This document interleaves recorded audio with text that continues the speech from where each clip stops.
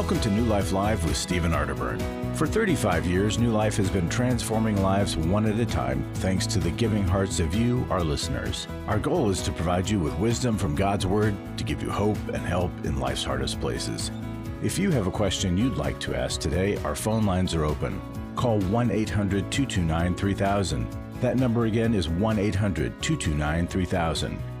Now here's today's host, Becky Brown.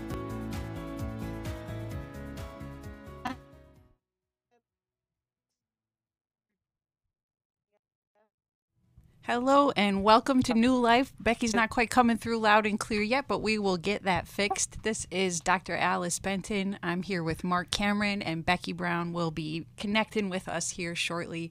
So, welcome to New Life Live. We are taking calls today. You can call us at 1 800 229 3000. We have a line or two still open, so today is a good day to call. I've been wrestling Marc with a topic because we get a lot of calls here on New Life about how should Christian parents respond when their children tell them that they are of the LGBTQ status mm-hmm. and what, what what should we do with that and I've heard about research that says if we're not accepting and perhaps even promoting or supportive of our children when they reveal that we can add to suicidality and, and actually put their mental health at greater risk. Well, I've heard about the research, but I had never looked into it myself. And that leaves a Christian parent in a confusing position because shouldn't we be presenting God's truth, even if it's opposing our children and who they believe they are, who they believe that they are attracted to? But how do we both protect their mental health while presenting biblical truth? So, Preston Sprinkle is a friend of New Life. He's been on the show, and he has a lot of years in the field working with families going through this. And so he breaks down some of that research, and he hmm. has found that it's when parents give a strongly harsh, rejecting response that they add to their children's mental health distress, and suicide does and can become more likely. And so, showing our children love and acceptance of at least the fact that this is their experience. We can add in biblical truth, but the briefer we speak about it, the better. The more calm we are in trying to receive that information from our children while offering them support and leading with humility, the better our children will do in the long run. So I was thinking about how much we all struggle with sexual sin and how Jesus responds to it and how God seems to respond to it in the Bible. And when I think about David or the adulterous woman in the New Testament, they both struggled with sexual sin. And God is obviously against sexual sin. He has a protective way he wants us to live out our sexuality, but he does not condemn. He does not condemn. He loves us through it and tries to gently bring us back to the safe guidelines that God has set for us but pretty difficult to do as a Christian parent. And so we just want to give this encouragement that going really strong with love, trying to understand and getting curious about our children's journey while being brief with biblical truth. Marc, I'm curious what you yeah, think. Yeah, no, I love what you're saying. It's totally true. Um, that message that comes across that we are going to co- be contributing to uh, our child's suicidal thoughts is very scary, and no parent wants to do that. But I think the truth in what you're saying is really kind of a universal truth of how we need to respond to our kids overall. And there's a difference between tolerance, affirmation, and acceptance. Those all maybe they can go together at times, but they all have different definitions, and, and we're told um, in our culture that tolerance equals uh, affirmation of somebody's ideas, and it, those two things are not the same. And so we affirm our kids in who they are, in their identity, in our family, and that we love them unconditionally, even if we disagree on ideas. I love that. I don't know if you guys can hear me, but we I'm back. We can, Becky. If you can. Okay, well, I hope that the listeners listen to what you guys were just talking about because it was really powerful. And I hope you'll call us 1 800 229 3000. We've got some calls on the board, and we're just grateful to have insight like what Alice just presented and what Marc presented. We'll be back in just a minute. Hi, this is Steve Arterburn from New Life Live, and Chris Williams and I are doing the Emotional Freedom Workshop. I don't know of anybody that wouldn't benefit from emotional freedom. We're all bound or stuck or struggling in some area. What are we going to do there, Chris? Just really help people get clarity around the places where they're stuck in their life. They sort of circle the same mountain of disappointment over and over and over again. You're going to be able to see that mountain clearly and get to a new place of what we call emotional freedom, which is simply I can feel in the world, build a relationship to it, and know what to do with my experiences. The New Life Emotional Freedom Online Intensive is Saturday, March 16th. Steve Arterburn, Chris Williams, and Dr. Jackie Mack Harris will present information on the power of our emotions, procrastination, guilt and shame, and more. And small group leaders will help you process the information you learn. Call 1 800 New Life. That's 1 800 639 5433 or register online at newlife.com.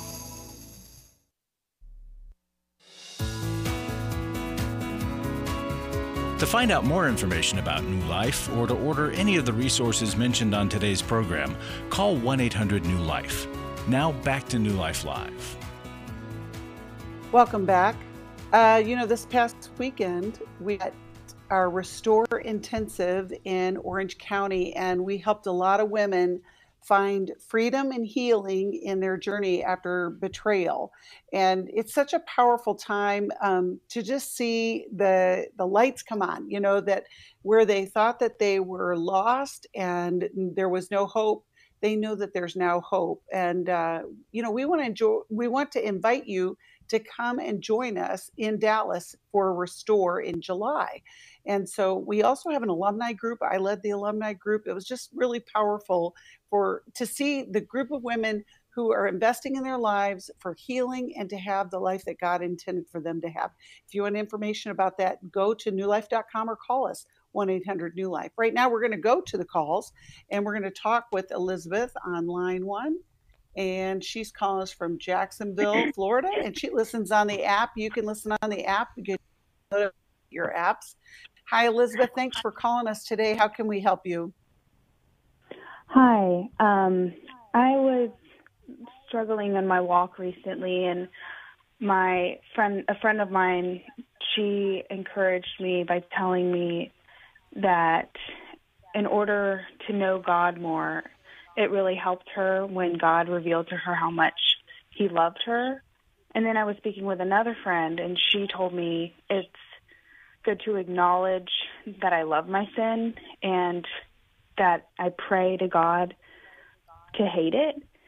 And I, and then later that Sunday in church, my pastor basically tied those two together and he said, Until I understand the gravity of my sinfulness, I will never begin to comprehend the love of God. And I was just inquiring of how can I hate my sin and understand God's love for me and love God more than my sin and walk in the freedom that God has promised us through Christ. Mm. I just want to see God and just behold him and love him and him and delight in him more than my sin. And I've just really struggled with that because I've just fallen really far into sin and particularly like binge eating. It's been really difficult for me and I just can't see I just want to see the light at the end of the tunnel and walk in God's plan for my life. It's really just hard to do when I don't love him the way I should. I love that you are even thinking about this, Elizabeth, because that's the beginning, right? Is that awareness. Um, Alice, let's start with you. How can we help Elizabeth with this? This is a profound theological and psychological question, Elizabeth. And I think your friend was correct in um, recommending that we acknowledge sin that we're not yet ready to let go of, or sin that we get a benefit out of or feel pleasure in, which is most of our sins. It's partly why we, we stay mm-hmm. stuck in them, of course. And then the habit of it is just so difficult to break. And it's by bringing that whole process into relationship, which it sounds like you're already doing, that we start to gain more of a dislike for our sin and, and, and start to want to break away from it. But it takes so much courage to admit, I like my sin. I'm not ready to stop yet. But it is that admission that gives God more space to come in and work in our heart and change our heart. Would you tell us, um, have you been able to talk about binge eating in relationship? And if so, what kind of relationship? Professional, structured, or friendships? Not really. I mean, friendships maybe, but I mean it's pretty. You don't talk too much about it. Just that it's a struggle, and I don't really know how to control it and give it to God effectively. I've recently tried fasting, and I thought I started out with fasting because I I I know you gain a lot of clarity through that, and I thought that would be how I would get to the end, the light at the end of the tunnel, and God would change my habit.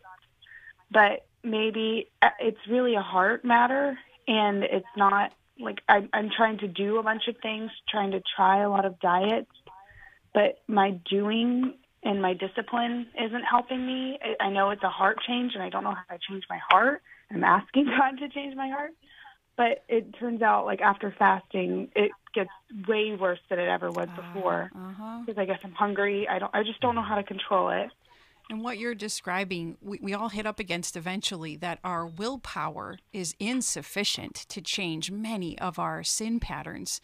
And so I'm curious, what's one of the obstacles that might keep you from getting more structured help? And it's often our, our embarrassment or, gosh, I just want to be able to do this on my own. I want to conquer this by myself. I don't want to bring other people in because this can be tough to talk about, embarrassing to talk about.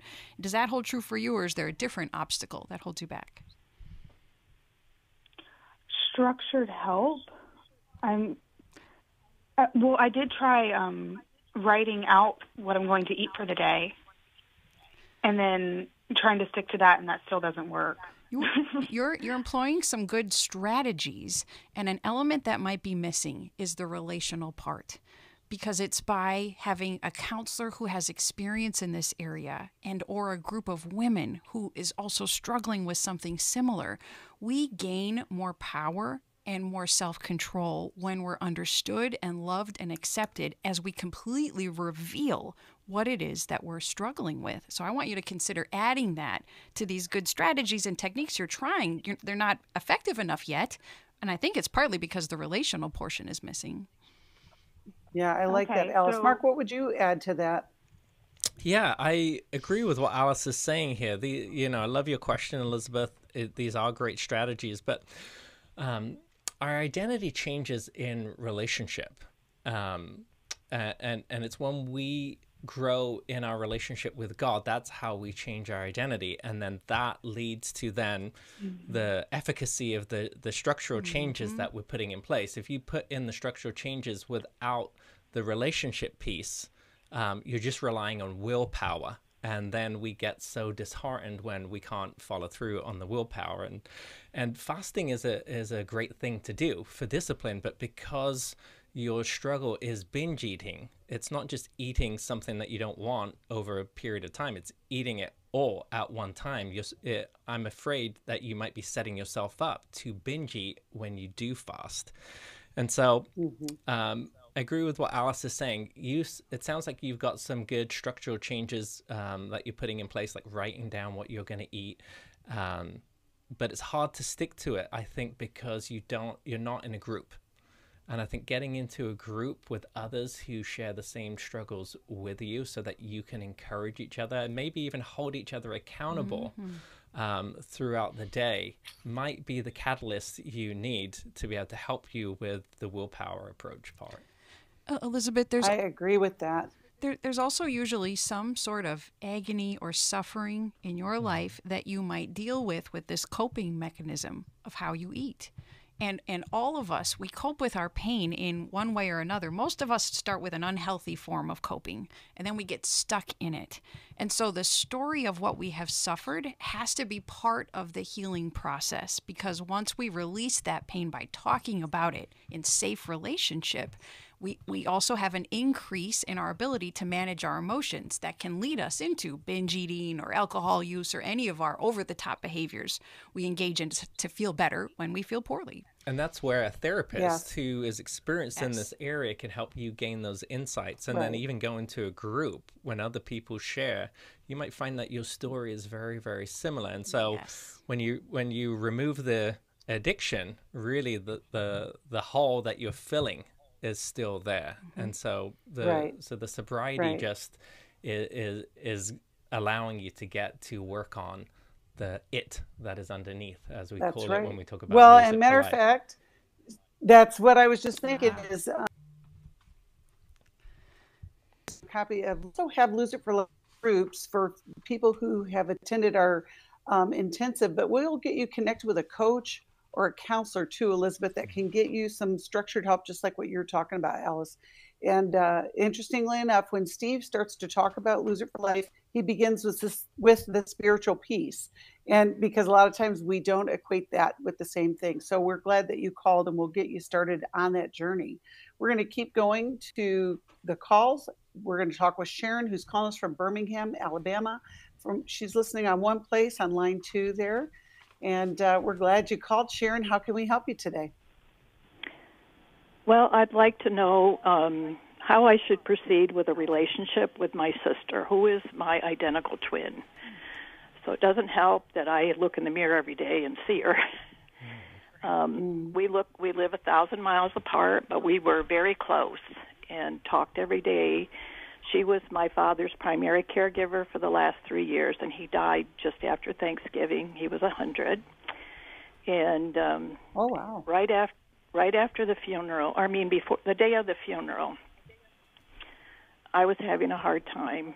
And well, let's go back up. It's been about a couple of years that it was really hard to talk to her, to really have a conversation because no matter what I said, she had already heard it. Um, I was being morbid, um, just different things like that, or I'd, I'd give her a point of history and she'd say, "Well, where'd that come from?" It was there was no ever any conversation. And that I went up before the funeral to help her do stuff and no matter what I said, it wasn't right. I got please or uh, or why did you say that? You know, mm-hmm. there was just no conversation at all. And the day of the funeral, I struggled all night and I woke up and she could tell I was struggling and I came out and I said, "You know, you could really help me." And and when I said that, she blew up. I mean, Mount Vesuvius couldn't have been any higher. Mm. and she mm. so she went on and on and um so we went to the funeral. I sat there feeling like I had been verbally pistol whipped. And after the funeral, I packed up and I left. I didn't say anything to anybody. I just left. And I came home and I cogitated on it and I wrote her a nice letter about three weeks later. I mean, I got things from her saying, What's the matter? How come you kicked me to the curb? And what did I do to hurt you? And I like, I'm just and flabbergasted that she doesn't understand, doesn't even feel. She called my So- husband, so to know what Sharon- was going on. Yes. I want to make sure that we get to it before we go to a break, and then it will Uh-huh. start in a minute. But what I it was it was distressing all the way around. What's a good question for us to be thinking about? I want to give you time well, for that. I've I've been working on myself. I feel like I've forgiven her, but I really am reluctant to open the door to have a relationship with her. I um I feel like you know we're done as far as having we're not ever going to have a close relationship like we used to. And um i'm afraid that if i shut the door i'll be sorry. But right now i'd like to shut the door on the relationship. And uh, if she knocks i'll answer the door and give her what she needs but i'm not going to open the door And Sharon, with the letter you wrote describing why you you took a step back from her, how did she respond? Was she able to take any responsibility for the blow up? no no not at all Did It she was, did she um, deny it, dismiss it? Oh yeah, she dismissed it and said that if I thought if I thought my letter was going to evoke, well, I'm sorry. She said, forget it. It's never going to happen. And this irritability from her was this a real change of character at, at your No, dad's no. passing? No, she's been like this for some time. Yeah. Well, anytime there's a really stressful situation, she will go off. and I've seen her do it two or three other times. Um, like when my mom was dying, she went off on my dad, and um, she went off on my mom one time when my mom didn't respond the way she thought she should, and she went off on So- me years ago. So, um, so she does. So Sharon, you're does- trying to get some. So Sharon, you're trying to get some resolution to how do we go forward? Is Right. this going to be a distant type of relationship, or you know, can you feel pain with this as well? We're, you can hear the music. That's why I wanted to get your question. I knew that Alice would have another question for you know just to clarify because you know when you have big situations like this that involve grief and your sister's caretaking, as well as the history of some short responses. It's it all boils down to how do we have a conversation with someone who's in react reactive mode? And there's lots of reasons why people are in reaction, but it doesn't feel good when you're on the receiving end. We'll be right back after this. About four years ago is when I discovered my husband's addiction. I heard about New Life. It has been life changing for me and for my husband both. It was direction when we were lost, and it was hope when we had none. The help that we received from New Life uh, has been multifaceted. My husband did the Every Man's Battle workshop. We did the marriage weekend. We are avid listeners of the radio and TV programs, and I think those are awesome, wonderful resources. And you know, I think the people who support New Life financially are people that I'll never know. You know, I'll never be able to thank them personally for the gift that they gave to us. I believe, beyond a shadow of a doubt, that their giving saved me, my husband, and our family from being torn apart. To make your tax deductible gift, visit newlife.com and click donate. Call 1 800 New Life or text NLM to 28950. That's NLM to 28950. I've been listening to New Life for many years, gone to a few workshops. I want to support a ministry that helps people connect with God and with others and gives them the tools to help transform their lives. You can help New Life Live stay on the air by joining Club New Life today.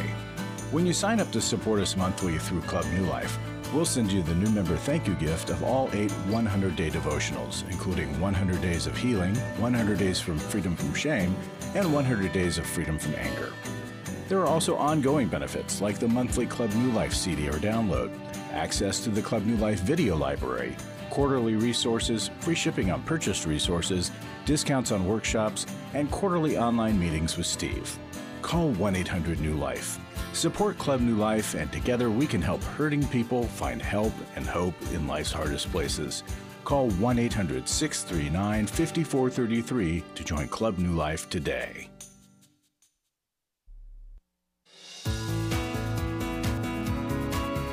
We'd love to hear from you. If you have a question or a comment, call toll free 1 800 229 3000. Now back to New Life Live. Life Live. We are still taking calls, and you can call us at 1 800 229 3000. But we have been talking to Sharon. Sharon, you described the situation of your sister blowing up multiple times throughout your life, and you're uncertain how much distance you need to take from her. Yeah. So Sharon, this sounds like it's a relational pattern that's recurring between you and your sister. It sounds like the latest event for the relational pattern is the the passing of your father and the blow up that occurred at uh, at the funeral. And this is a challenging one, you know, as Becky was saying, because you're both grieving, and grief is just a very strong um, emotion. It's a, it's a set of emotions that are happening, uh, and and some of it is anger, and and it and it has to do with loss. And and I think there's you you guys are probably grieving differently. I wonder, because you mentioned that she lives a thousand miles apart, and she was the caregiver of your dad, and so she was likely. It sounds like with your dad every day um, Oh, yeah. for however many years, or, or, or especially the last moments of his life. And so she's grieving his loss in a different way. And I think when it comes to repairing your relationship, it, you have to find some kind of common ground with the other person. And so the common ground for you both is that you're both grieving. But I think it would be a recognition that she may be grieving in a different way than you. Now, having said that, I recognize that it is a relational pattern that's happening for you guys. But I think before you can get to the relational pattern, you probably would need to do some repair and connection over the latest um, rupture that's happened. Um, and I want to speak a little bit here to what you said about you wanting to close the door right now and just let her come after you. I wonder if you have a, a, vacillator attachment. A vacillator attachment occurs when we have intermittent connection with our caregiver growing up. And what happens is we, we end up doing this push pull when we get to adulthood. We want to push people away, even though we want them to come after us. And vacillators tend to use a strategy called detachment when they get hurt from somebody and they push them away because they think if if I don't care about you, if you're away from me, then it won't hurt anymore. But it's not really what they want. They do want the other person to come after them. And so I wonder if that's what you're experiencing right now. And, and I think it's helpful at times to have a word for what is happening so you can understand what's going on. Um, but the detachment usually is not what the vacillator wants. And so ultimately they end up feeling um, unsatisfied in that. And so I, I wonder if just even you recognizing what's going on for yourself can help you maybe put that aside to reach out to your sister who's hurting, who has reached out to you um, in that letter um, because she's feeling a disconnection here. What do you think about what I'm saying? Um, I don't totally agree with that. I see some credence to it, but um, she didn't reach out to me. Well, she did reach out to me first, but it was like in well, what in the world did I possibly do? Mm-hmm. and I'm like, what do you mean? What did you do? Mm-hmm. And um, so, so, yeah, there is detachment. I, I'm, yeah. I'm like, I just like to like to be over with. Yeah, and so what I'm suggesting to you is maybe just to recognize with your sister that you guys are grieving differently and that she's experiencing a different type of loss in this moment than you might be experiencing because she was the caretaker of your dad. Well, yeah, and she she lost a lot because mm-hmm. she was his caregiver, and by losing him, she lost her home. Mm. And wow. Oh, her life has been turned yeah. upside down. Her father, her work, and her home. And, yeah, and all, and all of that grief and distress, it doesn't justify how she has treated you multiple times. And so you have the right to pull back, especially as she's not acknowledging what she does. She's denying it and she's minimizing it. But I think your caution is also right to not entirely cut off this relationship. She's your sister. There are times that you have really good interactions. But you can decide, and you might tell her, I feel really stung by what happened. And the fact that we can't really talk about it very well together, you, you kind of brush it off, sister. It, it leaves me mm-hmm. feeling unstable in our relationship. And so I feel like I got to pull back a bit. We, we can still chat, maybe just about some surface level things, but I can't be quite as available as I used to because I'm still feeling stung. Now, I, I want to come back. I want to be in better relationship with you, but for now, I need a little distance. I, I wonder too. Definitely. Well, I wonder too, Alice, along that same line, I'm wondering, Sharon, could work with a counselor sister. Like um, just process what's happening. You broke up, so I didn't hear what you said. I think Becky was suggesting would would you consider both talking with a counselor Sharon to help you to to figure out your attachment style and how you might improve how you respond to your sister but perhaps also inviting your sister into a counseling session that a third party might be able to help you to talk this through even more. Well, I am in in with counseling right now, and I realize there's a lot of things I could have handled differently, and I've read some things on your website that have really helped a lot. And that's the other thing. I realize I did a lot of things incorrectly, which I could do better now. Um, definitely going forward. So. Yeah, and, and I love that. And sometimes it starts with repairing our side of the street. It starts by recognizing what we did wrong.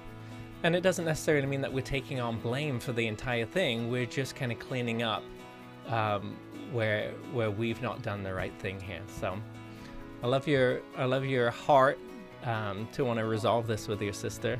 And I think we'll send you a copy of How We Love because Mhm. I think that will have a lot of insight for you here. But we're going to a break, still taking calls. Looking forward to speaking to our next caller here on the other side. For most of my life, I've been dealing with an opiate addiction. Why is opioid addiction quickly becoming one of our nation's biggest killers? Maybe it's because it isn't only those who are addicted who are in denial. We did what I see so many parents do is it can't be an addiction.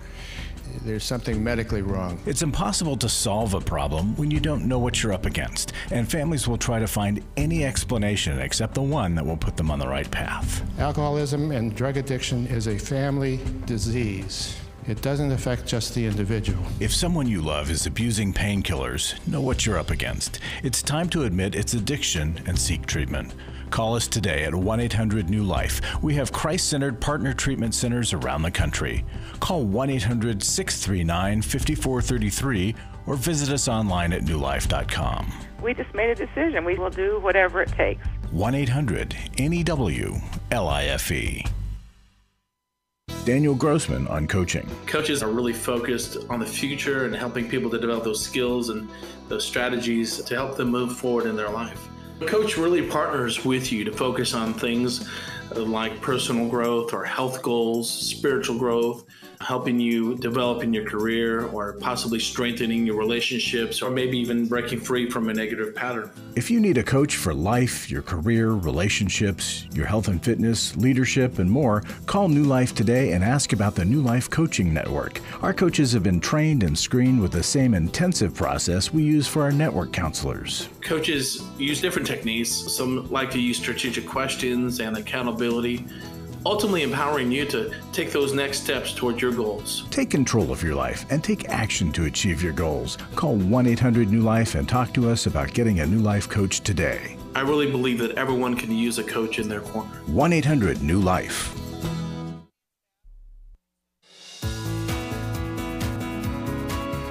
We're glad you joined us for New Life Live. To be a part of the program, call 1 800 229 3000. Now back to New Life Live. Welcome back. I want to remind our listeners about our Life Recovery Today because in that program, we're able to delve deeper into the topics that we touch on briefly here with our calls. And so please check out liferecoverytoday.net and you'll be able to see all of our past episodes there as well and learn more about the topics we talk about here on the show. We're going to go back to the calls. And Cora, we want to welcome you to the show. You're calling from Allentown, Pennsylvania on WBYN. Cora, how can we help you? Hey, Cora, are you there? We will try again a little bit later. Let's move over to Mary on line one. Mary, you're Mary calling from Philadelphia, Pennsylvania, WFIL. How can we help you, Mary? I think we lost Mary here. Let me try Cora. Well, we will get this figured out and we will come back to you, ladies. Oh, I think, Cora, we have you on. Hi, can you There hear you me? are. Yes, we can hear you. All right, we got it figured out. Welcome to the show. Cora, how can we help you? Yeah, I'll uh, say what my question is, and then I'll just give a little background. Um, how do my husband and I talk to my uh, in-laws who were like over the top spiritual? And the background is they're in their 80s. My mother-in-law was actually born in a foreign country because her parents were missionaries. Um, they were missionaries. My father-in-law was a pastor. They live on a retirement center that's just like for their uh, mission agency, and they pretty much just want to talk about like what are you doing for the Lord? What are the prayer requests? So how can we not enable that behavior and like be respectful and kind? Is there anything we could do or say? And tell us about how much contact you're in with them. How often do you spend time with them? Well, um, we, they're not in good health, so I haven't seen them in like three or four years because they live pretty far from us. My husband saw them on Thanksgiving, so I rarely talk to them because I'm going to be honest, I find it incredibly annoying. Um, so my husband talks to them maybe every other month um, and sees them maybe once a year. And their conversational style is irritating to him also?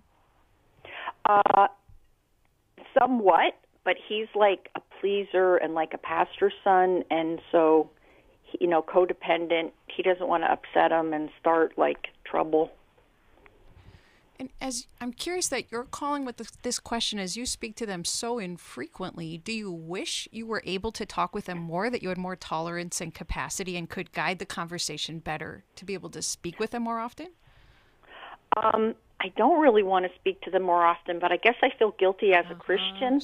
Like, you know, like, and, and then I thought my husband and I were actually traveling somewhere yesterday, and we were listening to a podcast where somebody called in, and I think it was uh, Sherry said how over spiritual she sounded. Her kids wouldn't talk to her, and you know, I, I said, my husband, see, see. I mean, I, I like it was very validating because I was like, I knew there was something not right. Like, are there other people out there besides my in-laws?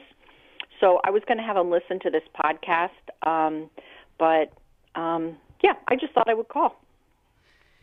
And is there any area you have been able to connect with them in a decent way apart from spirituality? Any other topic? No, mm, no. Mm-mm. So, Cora, your concern is that every time you're having a conversation, they're just asking you about what they can pray for you about, or they're talking about the Lord. Yeah, something about like about the church. Like, what are you doing in mm-hmm. the church? What are the mm-hmm. kids doing? Um, yeah. So I, I guess for me, I want to be like a better Christian, and I don't know any other way other than to avoid them and not talk to them much because I feel I do. I feel like I'm enabling them. Like like you know when they're like just talking about God all the time. You know, and if I'm trying to think um, of a, a situation where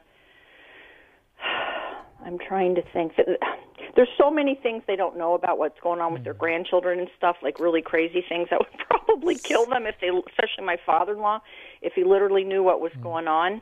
And I just was thinking, well, maybe there's a better way to help them, or be, should I just be like old dog new tricks? Just you know, be polite. You know, tell them I'm praying for them. Cora, Um, I, and I'm, ju- cu- I'm curious what you're referring to. What's one crazy thing that's going on that they would not want to know about with the grandchildren? Um, uh, I, I hesitate to say um, has to do with let's just say very strong pornography, perhaps prostitution, shall we say? Wow. Yeah, so now I see what you're saying is that you do have other topics that you could talk to them about, but you are afraid that they just won't have tolerance to be able to hear those. And I'm not saying we should bring that up to them.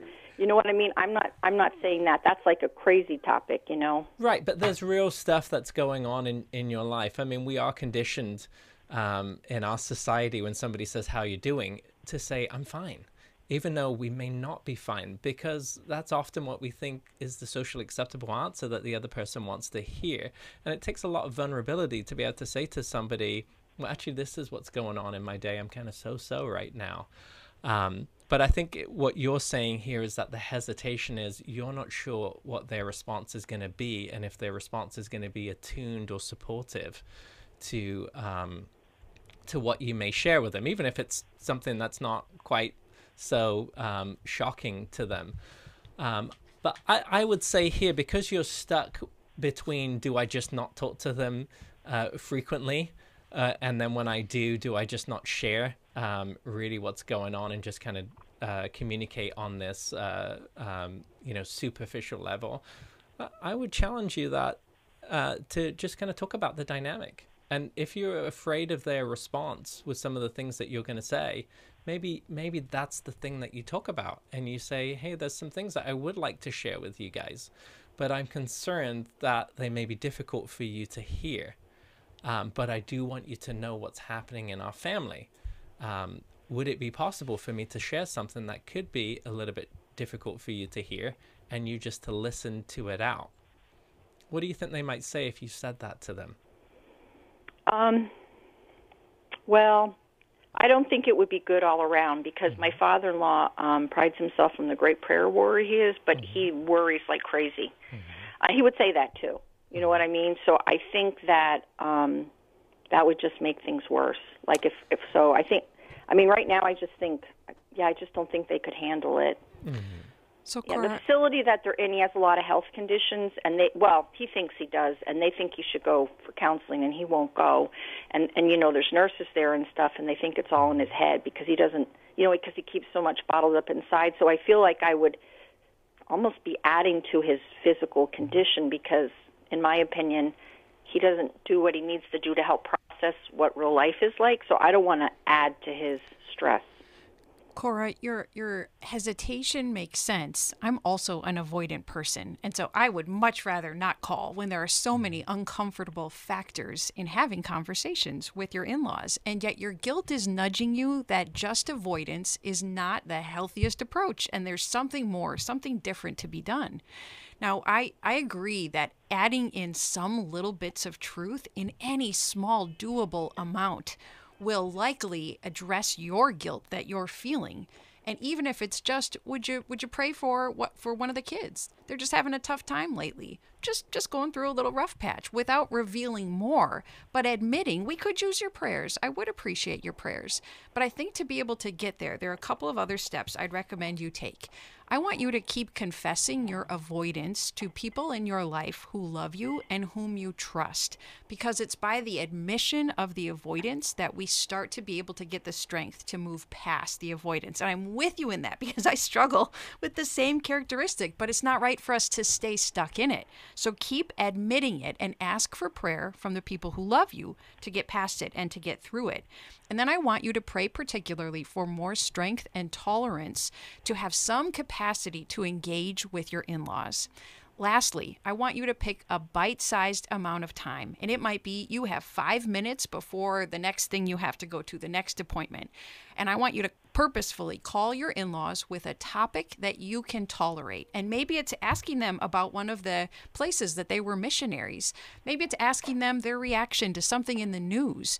Maybe it's just asking them how their day is going, but you're calling as a missionary because you know the conversation is probably not going to be enjoyable, and yet you want to serve your in laws. And by giving them a little bit of time, a little update about the family, you're offering them a grace. But do it when you have the strength and your time is limited so that you can tolerate it. Try those three steps and let us know how it goes. We'd, we'd like to hear back from you about this, and we're going to send you a book. What book Marc do you think would be best? To help Cora? Um, I'm going to say changes that heal. Yeah. Um, changes that heal will just give you some more understanding for some of the complications in relationship that you are dealing with, and that's by Henry Cloud. So we'll be sending changes that heal your way. Uh, Cora, we are so grateful that you called, and what we're going to be getting to some other calls when we come back from the break. And folks, as we always recommend a counselor, we have a New Life network of counselors, and you can always call to ask if we have a counselor in your area that we can connect you to to help you through these tough situations. We all face days where life throws us a curveball and our routines or plans get disrupted. Things we wanted to do are forced to take a backseat to the unexpected demands of the day. If you normally listen to New Life Live on a radio station, well, you might not be able to that day. And on these hectic days when you're feeling stressed or frazzled, hearing the sound of counsel given on New Life Live is just what you need to navigate the unexpected things of life. Every time I'm troubled or I have a problem, I'll cut on New Life, and there's always, always something that is said that is helpful to me. By listening, I have learned more than I can ever express about how God wants me to live. Download the New Life app for the easiest way to listen wherever you are and at a time that's convenient for you, or watch the show on our YouTube channel. You can even subscribe to our podcast from your favorite podcast provider. You never have to miss a day of new life. Wherever you are, we are. I was sort of vaguely familiar that the 12 steps had some origination in the Bible. I found life recovery. And one of the things I liked so much was that it had such a broad appeal. It wasn't limited to just alcohol or drugs, that it was addressing a, a, wide range of problems. At New Life, we believe everyone can benefit from a life recovery experience.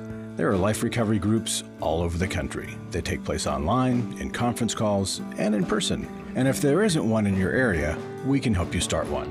We have startup materials, leaders' guides, CDs, Bibles, and more, all with discounts available for groups. Call us at 1 800 New Life and ask for Terry Ward.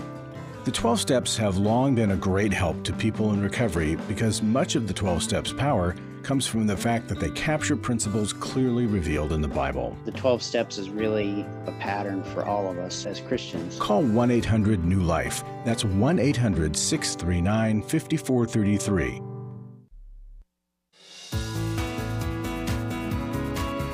To find out more information about New Life or to order any of the resources mentioned on today's program, call 1 800 New Life. Now back to New Life Live. Welcome back. Folks, just want to remind you that in addition to our radio show, we have so many resources that we can offer you through our call center, whether that's some of our new podcasts that have come out for Every Man's Battle, the books that we have, and that New Life network of counselors that I mentioned. The Emotional Freedom Intensive is also coming up. It's going to be online March 16th, which makes it so accessible wherever you are. And if you register by March 1st, you'll get the early bird rate. So don't miss out on that discount. Um, we got Mary back, so we're going to try again to talk to Mary from Philadelphia, Pennsylvania, calling on WFIL. Hi, Mary. How can we help you? Hi, thank you so much for taking my call. Um, I have a son uh, who told us about six weeks ago that he is separating from his wife of nine and a half years. And so we were trying to be supportive and, and all of that stuff that you do.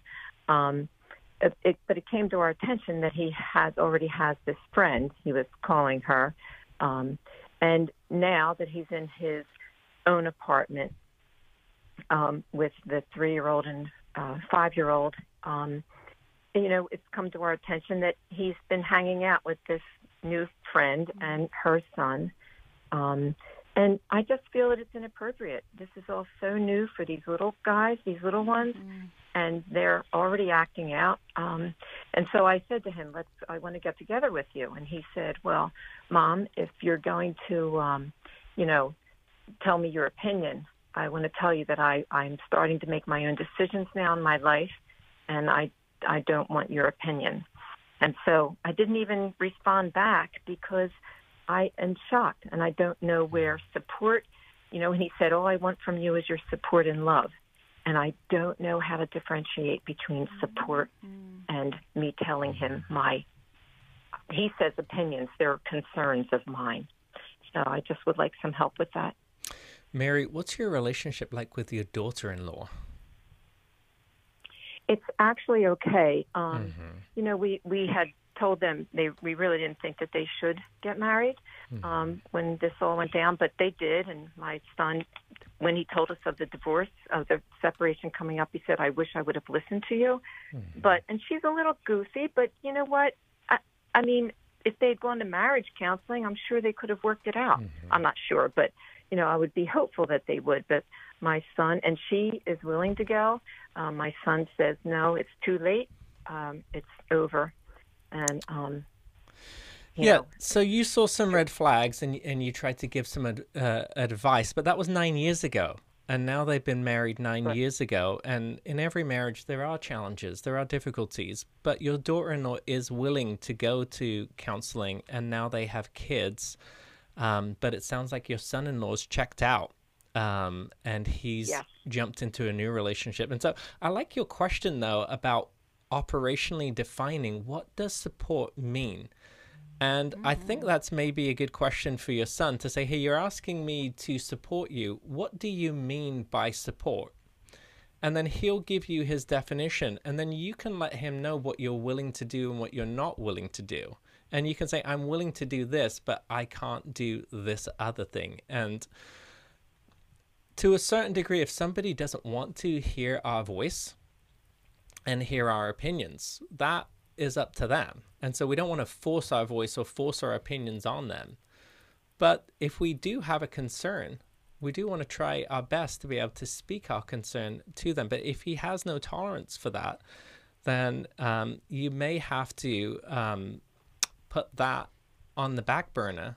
But that may limit then some other things that, that you might do for him. So, for instance, if he wants you to watch the kids while he and this new friend go out on a date, then an example of boundary would be I'm not willing to do that in this moment. correct. And he has wanted our family to meet her. Mhm. And my other one other son had said, "No, absolutely not." You know, um, but but then I, I I struggle with wanting to just shake him and just Mm. say, "Are you crazy? Like, how can you do this to these kids? They can't handle this yet. They." Um, so I just I just don't know how to even have a relationship with him. You know, I I love him dearly, but I am just so furious. Mary, as, as he seems to be saying, the support he wants is for you to not give your opposing opinion about what he's doing. That's such a sticking point for you as a believer, and understandably so, and I think rightly so. Do you think your son is still a believer? Yes. Yeah. What makes you think so? What's the strongest evidence you see of that? Well, I, I think because he was working at, you know, um, well, he's not. They weren't going to church, so they weren't walking, you know, uh, um, with the Lord. But whenever I would bring up about the Lord, or I would say that I, you know, I would pray with him, or you know, um, always giving him, you know, guidance in that area, and and my husband also, you know, um, He was receptive to it and he- he before. accepted- he accepted the Lord when he was a young child, and you know we have raised them in the church. So, I, I- So Mary, I, I think that he's a believer. I think that does give you the footing to um, to say your opinion once. So he doesn't want you to, and you may have to let him know, and perhaps even in writing. I- I will I I will not continue to give my opposing opinion, but I do have to say this once because of our shared faith. I have to point out I love you, I always will, but I think what you're doing is wrong, and I think it will hurt your children, and it will be difficult for me to have relationship with this friend of yours, especially as you're not even divorced yet from your wife, if that is the case. So give him the truth that you need to say, do it briefly, and surround it with love, and do it once. And unless God firmly nudges you to do so again, I would not continue to repeat that. And then I want you to decide as well would that be better coming from your husband or from you? Now, I, I think I would be inclined to um, be open to relationship with this other woman down the road because of wanting access to your grandchildren still. And so, after stating your stance, I, I'd prayerfully consider being open to eventually meeting her. Maybe not right away, but down the road, because you want to remain an influence and a support and a loving presence for your grandchildren. And with Alice's uh, suggestion here, maybe it's you and your husband go to your son together because oftentimes there's strength in numbers and it's harder for somebody to push back on when two significant figures are coming to them. But I think it's also important to understand that, and for your son to understand that you are going through a grief yourself. You know, the family is splitting up. But it, it's impacting you and it's in, impacting the whole family. And so this is challenging for you. And, and also, I'm not sure what your son's expectations are about you maintaining a relationship with your daughter-in-law, but she is ultimately the mother of your grandchildren, and so you will need to maintain a relationship with her, um, uh, you, for the sake of of of your grandkids here. And so that may be something that you end up communicating to your son too. Now we're going to send you our book, Doing Life with Your Adult Children Mm-hmm. By Jim Burns. Jim Burns, because great it's book. all about how to give truth briefly while maintaining relationship. And Mary will be praying for you because this is a very difficult situation. Um, folks, we just want to remind you that Every Man's Battle is coming up on March 1st in Dallas. And so, so there is still time, not a whole lot left, but there is still time to be able to sign up for the Every Man's Battle Intensive. And ladies, if you're the one listening to that, many of our men go because of their wives, because of their wives making the call, or their wives asking or requiring of their husbands to come to every man's battle. And so please feel free, ladies, to reach out to us to find out how to go about that. Folks, thank you so much for listening. We will be in prayer for you. We appreciate you tuning in, and we will see you next time on New Life Live. And thank you, Marc. Thank you, Becky.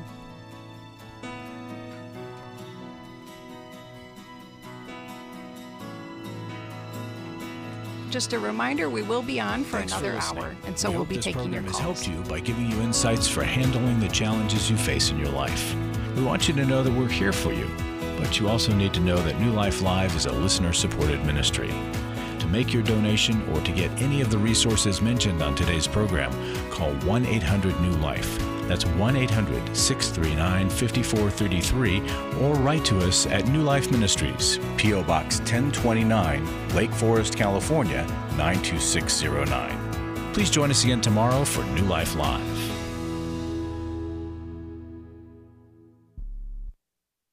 Thanks for watching today. We love helping people. I hope you sense that. And we know that there's always hope if you find the right resource. Now, if something we've said that somebody else applies to you, that's fantastic. That's what we're hoping for. But also, if you want to join us directly, you can call 1 800 229 3000 between 1 and 3 Eastern Time, Monday, Tuesday, and Wednesday. Those are the best times to get through. And while you're here on YouTube, check out these other videos that we've done to help people see where they could grow or a different path to take. And if you do that, would you give us a thumbs up on the video and please subscribe to this channel. There are many ways that we can help you outside of the radio program, and it's very hard for some to pick up a phone and dial 1 800 New Life. But when you do, we put you in touch with somebody who cares about you, knows all the resources out there, and they're going to find the best for you. There is no reason to struggle alone. I hope to see you tomorrow. Hope you'll invite somebody else to come and join that maybe needs just a little bit of help along the way. I'll see you next time.